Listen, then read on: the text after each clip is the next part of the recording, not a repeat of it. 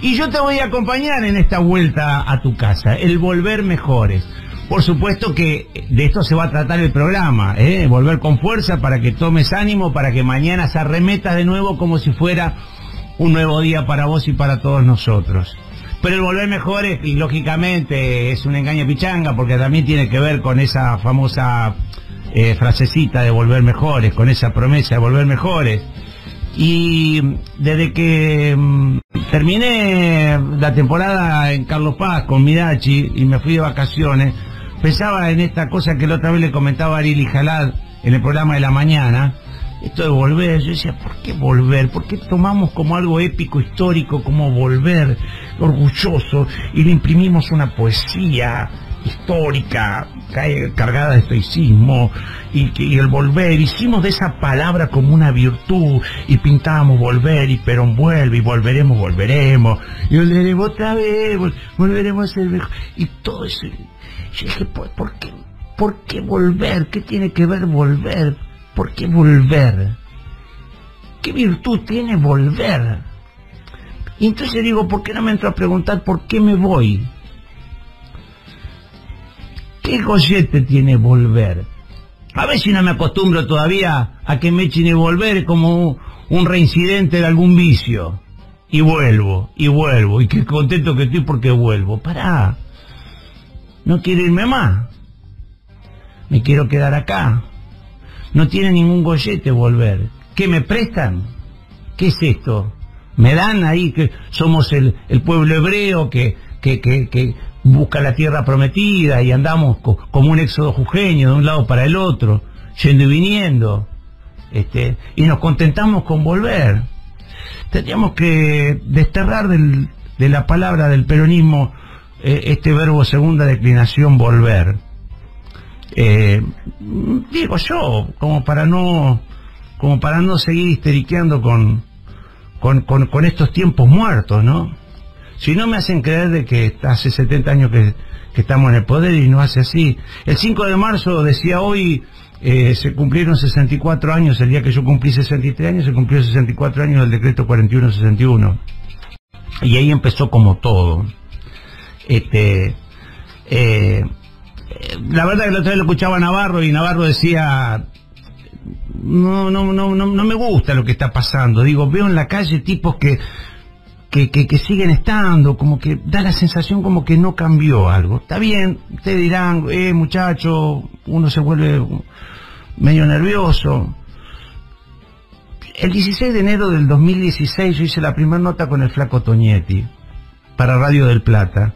Ahí hablé de recoger las banderas, de irse a casa, de volver a replantear el equipo y el club, todo con un respeto. No habló más nadie, che. No se escuchó más ninguna voz, che. Se cerraron las fuentes de laburo, se cerraron los medios, encarcelaron a los dueños, los pagos quedaron sin laburo. Algunos se fueron, otros quedaron. Recién a los seis meses yo hice el, el, el, video de los dos panchos por el cual fui desestabilizador.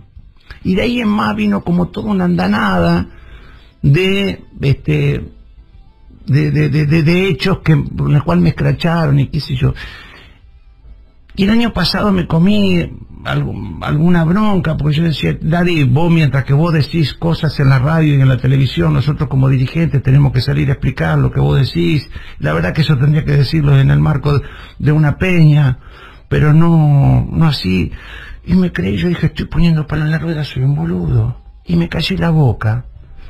Y digo, está, está mal, no me tendría que haber callado la boca yo me siento que fui un perseguido. Y la verdad que lo digo porque ya lo tendrían que saber, pero no lo saben. Entonces, como no lo saben, yo lo, yo lo, yo lo chapeo, la verdad. Porque no, no, se ve, se, ve que hay que decirlo muchas veces. Entonces lo chapeo. Digo, sí, la verdad que yo fui perseguido mientras que otros jugaban a la política.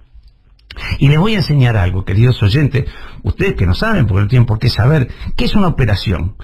Una operación es, una noticia es, a ver, yo no soy periodista, acá me están mirando Ari, me está mirando Navarro, me está mirando el Tano. Una noticia es murió eh, Kobe Bryant, murió el domingo. A las cuatro horas se sabía que la hija había muerto. En diez horas ya tenés la noticia completa. ¿Sí? Ya sabés qué pasó y qué sé yo. El 18 de diciembre fui a hacer una nota con el, mi amigo Luis Navarecio, donde dentro de todas las cosas que se dijo, le dije, bueno, eh, dale, vos te gusta Cristina, te volviste, eh, te volviste puto no te de peronista. Terminó ahí, la noticia tendría que haber salido el 19 de diciembre, no salió el 19 de diciembre. ¿Sabe la diferencia entre noticia y operación? Salió el 4 de enero. El 4 de enero nació ni Clarín con sus satélites que son La Voz del Interior, La Gaceta y Los Andes, más Canal 12 de Córdoba y Cadena 3 y todo un ejército de reservistas tuiteros, armaron la operación. Hasta que el amigo Luis Novarecio dijo, esto queda en el marco de la privacidad, es un amigo, que yo, y se cortó. Como se pasaron un montón de cosas. Y yo, viste, ahora me, encuentro, ayer miraba a, a Johnny Viale Ocaña en el programa, la otra vez miraba el cumpleaños de Cristina, este, al amigo Feynman, hablando de la torta, quién se llevó la torta, con la, torta, la torta, quién se llevó la torta, la parte de la torta. Yo digo, wow, loco, no hay, no hay como respeto, no hay. El otro día, el 30 de enero, en Córdoba sale una nota de una chica en el portal de Canal 12 de Córdoba, diciendo sale caro cerca en Córdoba. Le ponen el signo de pregunta, porque el signo de pregunta es una manera de echarse la bandina.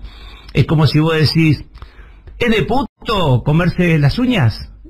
Yo sé, digo yo, pregunto desde la ignorancia, ¿eh? No, no, no, no, sos un cínico. Le pones el signo de pregunta para que quede como risueño, como para que no te haga tan animal.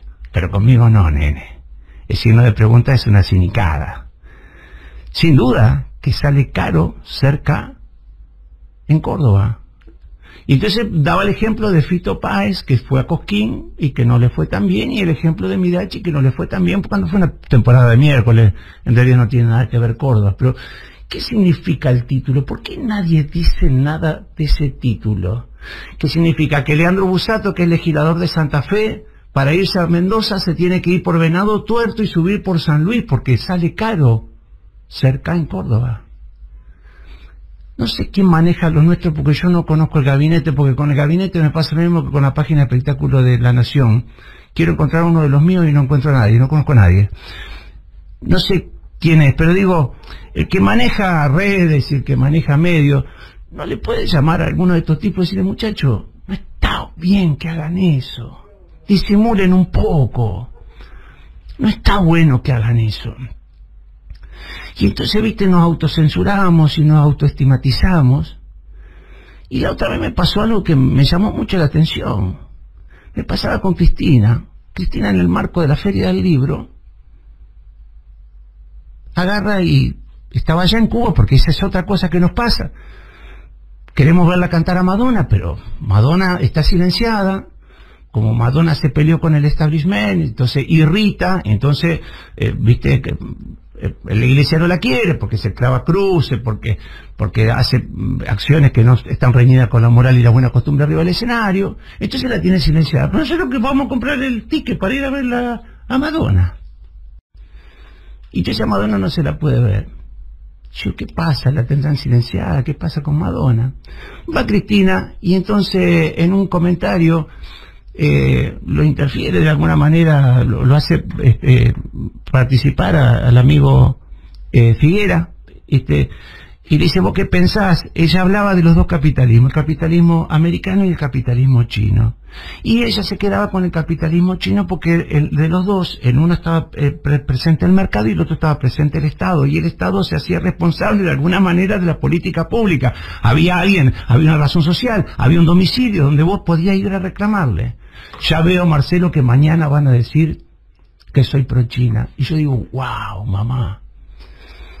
Si vos tenés e-, ese nivel de autocensura y vos tenés e-, ese nivel de autoestimatización que queda para nosotros. Por supuesto, siempre tratamos de decir lo que, lo que decimos y lo decimos con respeto, sin joder. Se imagina que yo no voy a escupir el asado, muchacho. Yo la, pasé muy mal durante cuatro años. Yo no voy a joder, ni voy a tirar, ni voy a poner palo en la rueda, ni nada. Pero quiero saber qué es lo que pasa, quiero saber cómo nos vamos a manejar, quiero ver ciertos resultados. No me gusta que me corran con dos tractores, un, canal de cable y dos títulos. No me gusta, me siento incómodo. Me rompe los huevos un poco. Quiero saber lo que, lo, lo que pasa, ¿me entendés? Este, y al respecto, eh, tengo una buena y una mala para decirles. Eh, el otro día estábamos eh, con, con Felipe, mi hijo, íbamos caminando por una trilla que hay allá en un morro en Brasil, y viste que los padres siempre jodemos con los chicos, le decimos, viste, te lavaste los dientes, hiciste caca, qué sé yo. Y mi hijo me dijo, papá, tengo una buena y una mala para decirte. Sí, papá, ¿cuál es la buena? La buena es que tengo ganas de hacer caca. Y la mala es que me cago. Yo tengo algo para decirles, una buena y una mala. Estoy medio jugado y vengo por todo. Esa es la buena. Y la mala, estoy medio jugado y vuelvo por todo.